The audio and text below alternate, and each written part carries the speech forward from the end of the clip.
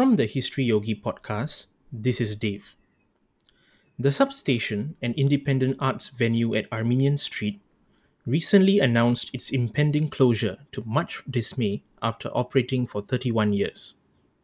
Today, we speak to Mr. T. Sasitharan, Cultural Medallion winner and former artistic director of the substation, on the substation's history and significance. We also discuss what needs to change in the state's approach to the arts and whether Singapore has a place for art that makes one uncomfortable. Thank you very much, Mr. Sasi, for joining us today. Could you briefly share with us your career as a theatre practitioner? Uh, sure. Thank you for having me, Dave. Uh, it's a real privilege. I've been working in theatre for 40 years, and my work has been of various stages. During my time in school, I began working in school productions, which can only be considered as a kind of amateur pursuit in theatre. But subsequently, as I moved on to university, I began working with the professional and semi-professional theatre companies in Singapore under quite renowned local directors. And uh, initially, my work in theatre consisted principally of acting. And uh, I would learn on the job because at that, at that time, when I was younger, there was no opportunity for anyone to really do training in theatre in Singapore. You had to go abroad. And uh, my family was not uh, able to afford to send me abroad to, to study theatre. Definitely, the times were different then, and um, we, we couldn't afford that kind of education. So my work in theatre until I was in university consisted primarily of semi-professional work that, that would take place outside of my classes, outside of the work, the, the work that I was doing to earn a, a living at night primarily. So I would, I would attend workshops. I would read as much as I can. I would take every opportunity working with a director uh, in a play to learn the craft of acting. But at the same time, I was also producing theater. I was doing small directing work. I was also managing companies. 20 years ago, this was how theater was done in Singapore. We had to do everything. There was the, the kind of specialization and professionalization that we see today, the kind of divisions of labor of the theater uh, in Singapore today were non-existent at the time.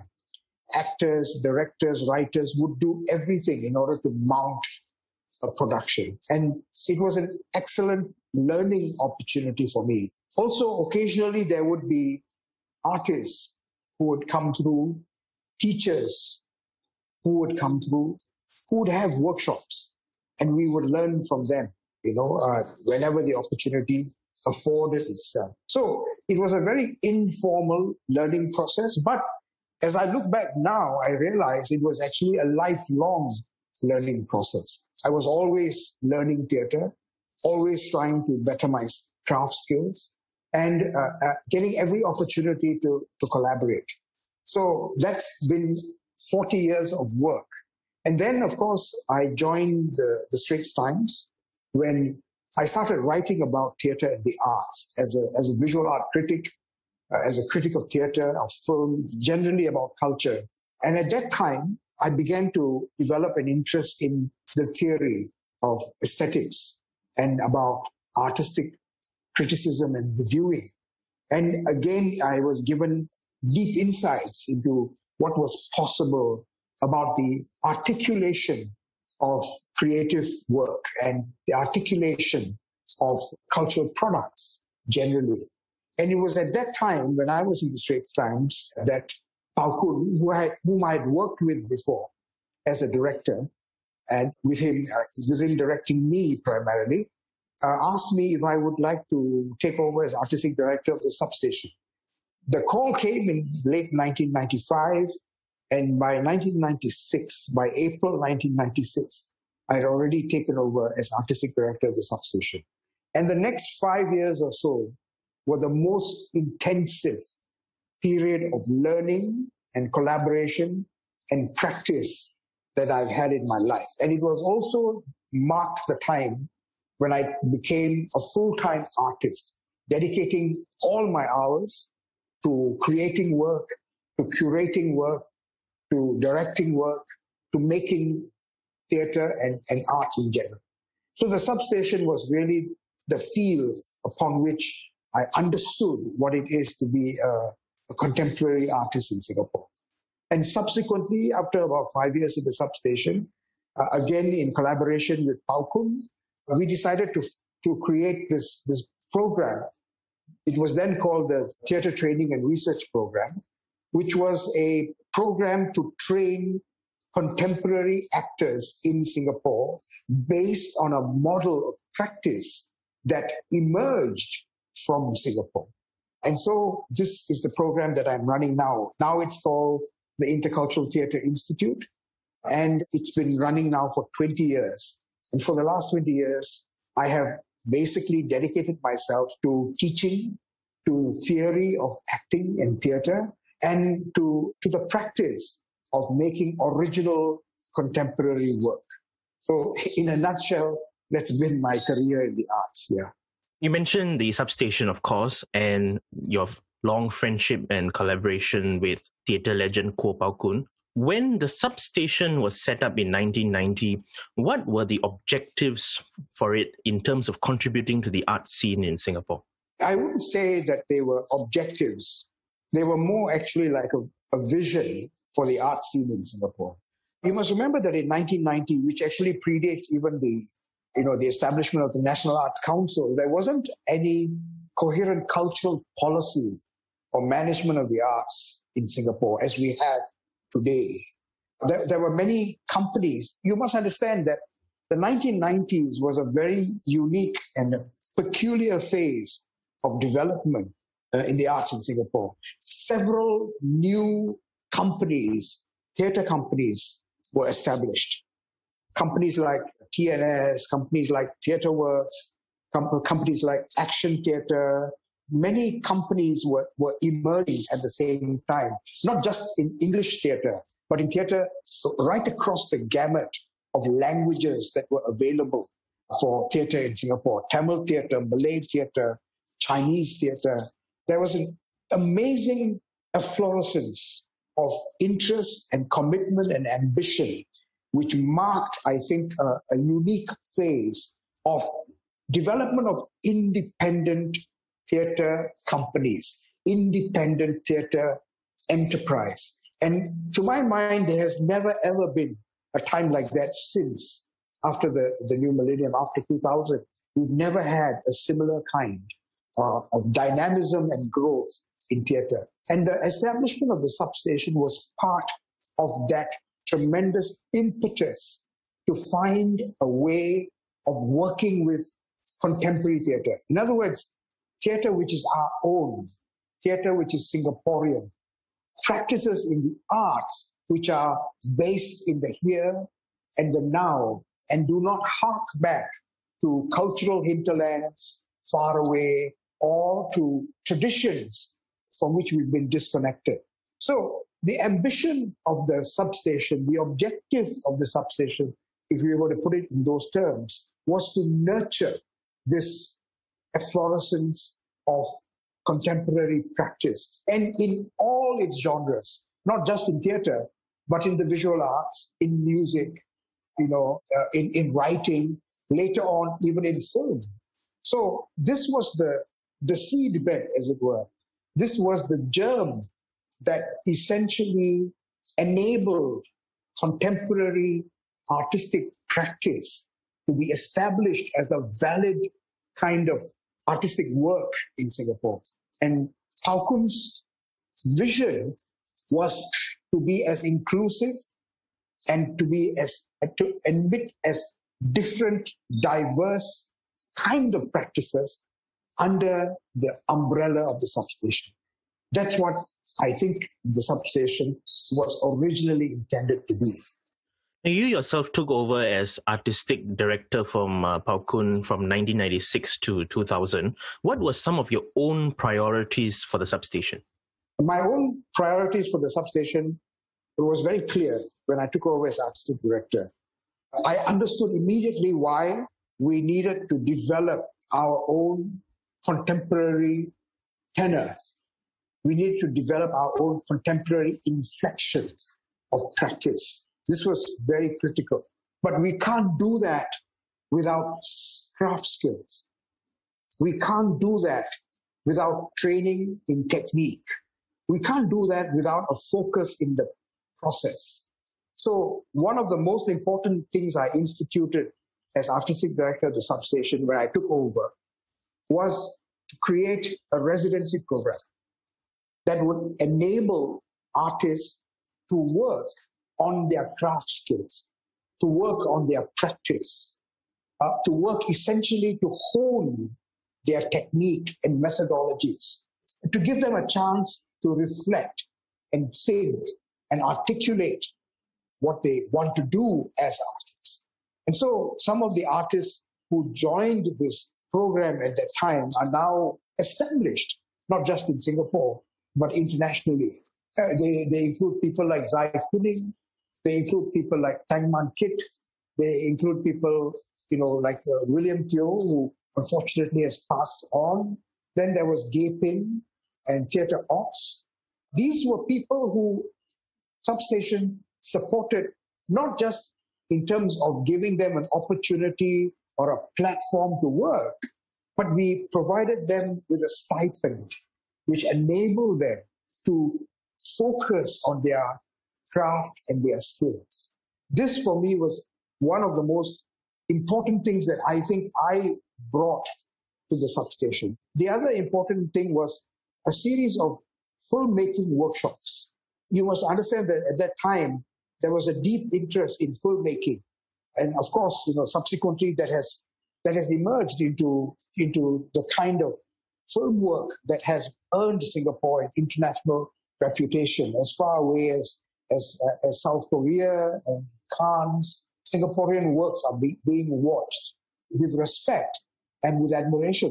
But it began at the substation with film workshops, what we called guerrilla film workshops. These were uh, young people who were given a 16mm camera, went out over the weekends to shoot films, and which were then ultimately shown at the substation theater.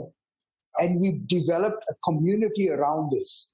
And so I think the, the development of a community around a practice, around an, a way of doing the arts was some of the most important things I would think I established. It wasn't just about programming.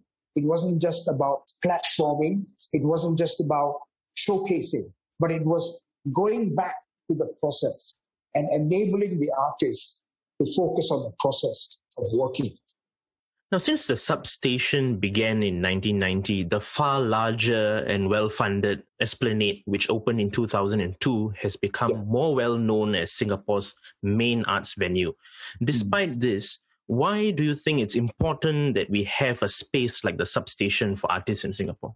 In all of our estimation of the quality and the quantity of work that's made from Singapore, artistic work that's made from Singapore, the numbers do not ever truly reflect what the meaning of a work is and how a work can affect and move audiences or receptors.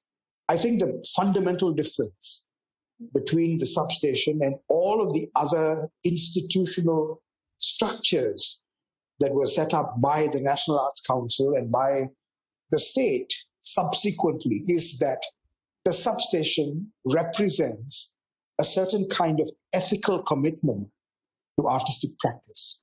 The substation represents a certain kind of morality about making work. It places the responsibility for art squarely on the artist. It centers its work around the artist and around artistic practice. I think that I can say quite clearly whether you're talking about the Esplanade or you're talking about the National Art Gallery or the Singapore Art Museum or any number of other institutions that have been sub- set up since, that these institutions are first and foremost institutional. They are first and foremost about the corporatization and the professionalization of practice.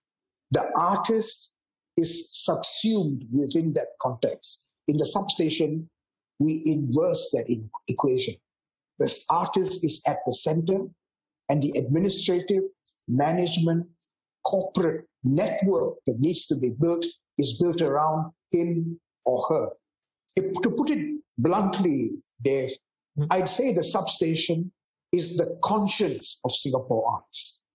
The substation, when it was there, was the North Star to which artists and artistic practice could be calibrated to. And that, I, that particular function, none of the other institutions, which are much better funded and which are much, which have much better equipment and facilities, none of them can claim, claim that particular aspect of work which the substation did. Now, you have been very critical of the National Arts Council's handling of the substation's tenancy issue. In your opinion, what needs to change with regard to the state's approach towards arts practitioners like yourself? Basically, Dave, I think what needs to change is that we need to have a much more refined and a much more receptive mode of grant making to enable artists in Singapore. The instruments for grant making today, which are used by the NAC, simply are inadequate. This is the problem. Basically, the substation had to close because there was not enough money to keep it going. Fundamentally, that was the problem. And tied into that is the issue about housing the arts and art making within the city and the phenomenal rentals and business costs that are associated with arts practice in Singapore. Now, these are fundamental issues which only an organization which is working at a national level like the National Arts Council can solve. And I, and I think my own view is that they have been remiss in the management of the economy of the arts. One of the things that they need to do is to have basically a grant making mechanism which is much more closely refined to the needs of the practice of arts in Singapore. Right now, the substation, like several other companies, fall within their scheme called the major company scheme. Now, this essentially is essentially distributes about $16 million to 50 companies these are companies that have been functioning in the arts in Singapore, some of them for more than 30 years. Some of them are even older, like the substation, older than the National Arts Council. And yet, this is the kind of money that we are dedicating to companies and artists who have dedicated their lives to this calling. And for me, that's inadequate. You need to have a much more varied and a much more granular approach, which matches availability of funding and money to the work and the practice and the value of the output of the artist or the company. And that's not happening right now. Right now, it is basically one approach that everyone has to fit according to one approach. The mold has to change. Now, one of the greatest successes of the National Arts Council has been the Cultural Matching Fund, which essentially channels government money so that monies that are raised by independent companies can be matched by government support. This has been a, a lifesaver. But I think there is no guarantee that the Cultural Matching Fund is going to continue beyond the next two years because we don't know after the pandemic whether it's going to be continued in support by the government, whether there'll be more money. And I think this kind of uncertainty is unacceptable. The National Arts Council has to lobby, has to campaign, has to work to ensure that the Cultural Matching Fund will continue so that companies, independent companies like the substation, like, you know, like theater works, like the TNS, uh, can plan ahead. But there is too much uncertainty. There's too much lack of, there's too much obscurity when it comes to stabilizing financial resources so that companies can continue their practice. These are, are, are deep problems which we don't talk about enough, which we don't discuss enough, and which honestly don't have the kind of accountability which they deserve. And these things, I think, have to change. In your opinion, what do you think will replace the substation in Singapore in terms of an independent initiative by arts practitioners themselves? I really can, can't see any single entity ever replacing the substation in the kind of work that it did. Partly because I think the substation was also was not just an idea, which many people claim it is. It wasn't just an idea, it was also a place. It was a location. And the location enabled it to sustain a community. If the substation is evicted, or when the substation is evicted from 45 Armenian Street, uh, you know, you might be able to establish something similar to it or something akin to what it was doing somewhere else on a much smaller scale, but its heart would have been ripped out. So I think we may able we may be able to replicate operations. We may be able to replicate programs. We may be able to replicate some of the platforms which the substation enabled. But I don't think we will ever be able to replicate the spirit of the substation. That will be lost. I have no doubt about that. There is always the tension between those who say that art must provoke and those who say art must be dignified and graceful. Is there a place in Singapore for art that makes one uncomfortable? I think there's no question that there is a place in Singapore for that kind of art, which makes you uncomfortable, which provokes, which challenges, which makes you question.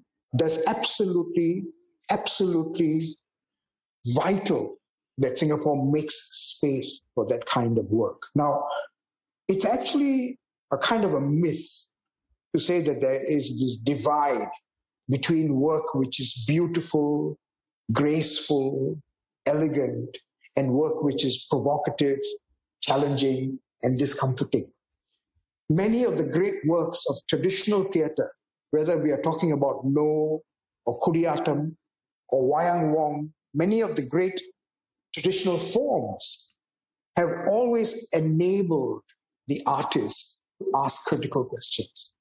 They've always enabled the artist, even while he was working for the emperor or the court, to provoke, to challenge, to push the envelope. Art has always been that way.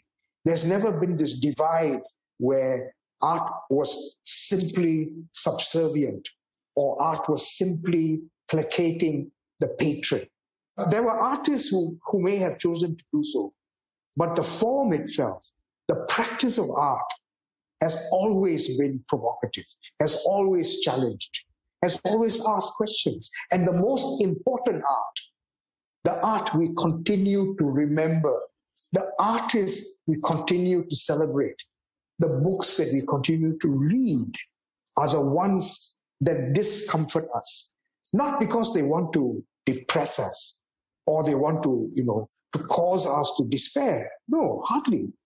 They discomfort us so that we may rethink our reality, so that we may ask the questions that we need to ask in order to change the world for the better. This is what artists have done all the time throughout history whether you're talking about traditional or contemporary. And as I said, as I, when I began this podcast, the place of the substation, the role of the substation, the work of artists in Singapore is primarily located within the realm of the contemporary. And the contemporary is always about the here and the now. The contemporary is about our presence and our place as citizens in this city this enormously successful, phenomenally wealthy city that has defied everything that we know about cities over the last 50 years and about economic growth. And it is precisely in this city, in this kind of a location, where we need to have art which asks difficult questions, which asks of its people why we are doing what we are doing and who are we really and what are we trying to achieve and what is our place in this new globalized, digitalized world. These questions are not always comforting, but ultimately, these are the questions that are going to shape our sensibility, our soul as a people.